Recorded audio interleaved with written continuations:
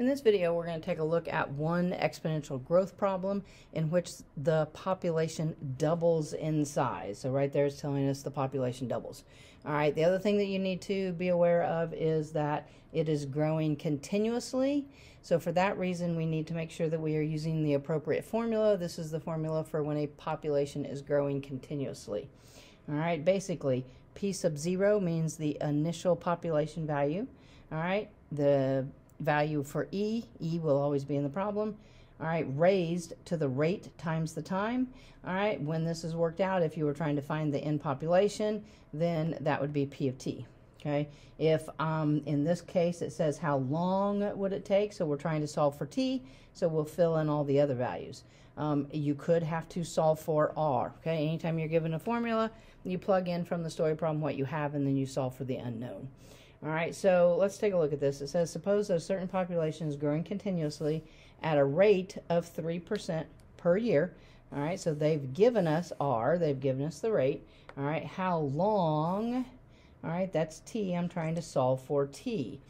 Would it take for the population to double in size? All right, so at no point in time did they tell us the initial amount of the population, but they're telling us it doubles.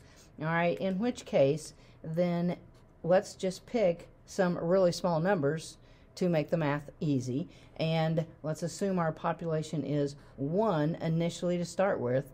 All right, well, if it doubles in size, 1 doubled would be 2. All right, since they didn't give us an initial population, I can choose to do it like this. Pick two numbers where the relationship between them is doubled. All right, then I'm going to have the E, which is always in the problem.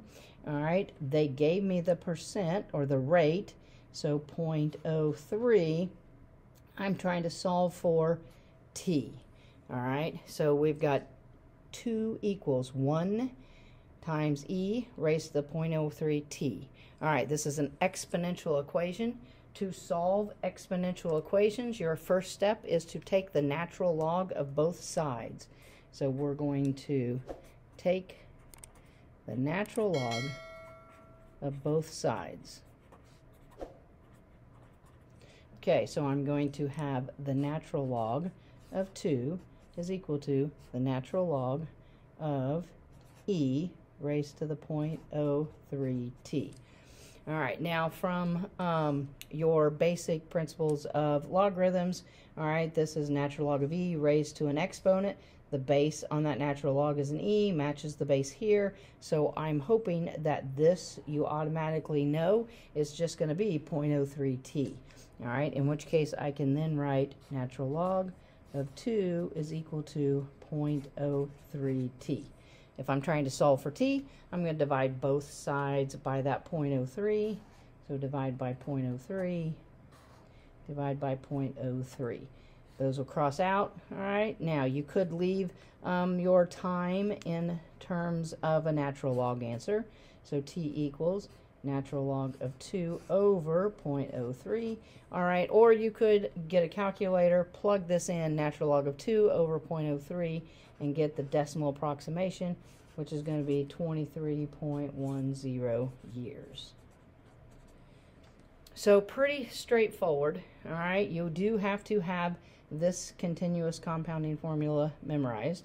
All right. Um, and since the population is doubling, the easiest thing, since they didn't give you an exact amount for the population, just put in a 1 and a 2 because that clearly has been doubled. All right, and then from here to here, having those natural logarithm uh, properties memorized so that you realize that you can real easily solve this and it's just 0.03t is your next main point here. So definitely thanks for watching. If the videos are helping, please share your friends so they can benefit too. And don't forget to subscribe to the channel. Thanks.